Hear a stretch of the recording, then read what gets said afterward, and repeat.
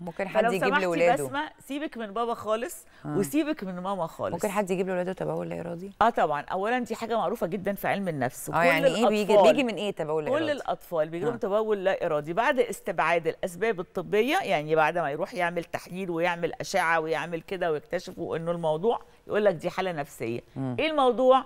هو عايز اهتمام. فأنت بتعمل كده ما أنت هتتضرب يا حبيبي مش هيش حد هيهتم ثانية بيك يا. بابا. هو عايز اهتمام عاوز يعبر عن نفسه ومش قادر. إحنا كده هنشوفك لما انت تعمل على نفسك اتولدت يا ستي ده سب كونشس معقولة؟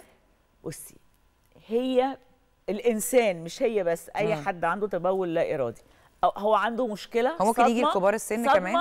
هو أصغر من إنه يتعامل معاها. أصغر من إنه يعبر عنها. آه. أص... يخاف يتكلم يقول أنتوا كفرتوا سيئاتي. لأن هو على طول عايش في خوف. ممكن تيجي لكبار السن كمان صح يا أمل؟ أه، لا كبار السن ده موضوع تاني. هو التبول لا إرادي في الأطفال معروف إنه نفسي. من سن كام موجود طيب في لكام؟ بيوت كتيرة جدا نتيجة الطلاق نتيجة العنف الأسري نتيجة التفريق في المعاملة بين الإخوات صح. نتيجة إنه لك آه. مثلا أنا مم. كنت البكرية خمس ست سنين فواخدة الاهتمام كله وبعدين فجأة يجي كائن ياخد مني أبويا وأمي. فأنا مش عارفة أقول إن أنا متضايقة. طب وده أو أنا مش عارفة أو لو أنا مذكرة أو مش عارفة أقول.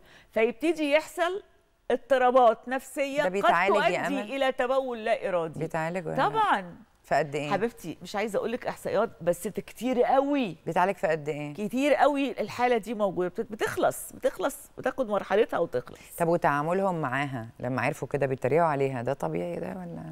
بتعملوا إيه بصي هم بيمشوا هم طاقتهم معكوسة في, في شغلتي أنا. إنسان طاقته معكوسة بيشتغل عكس مصلحته وعكس نفسه. هو في حد في الدنيا بالفطرة مم. آه، يقصد يهين أو يدمر ولاده؟ أكيد لا لأ, هم ثقافتهم كده. هم ما يعرفوش يعني إيه العقل الباطن بيكون طريقة يحمي بيها نفسه من ألم معين عشان يدفن على لحظة عذاب معينة الناس اللي مش ثقافتها اللي كده أنا بقوله ده ولا ما يفتكر يقول لك الناس مش اللي. ثقافتها كده بتلتمس لهم يعني من عشان كده؟ أيوة. ممكن أنا بالنسبة له بتلتمس لهم أنا الأعذار؟ بالنسبة له مجنونة أيوه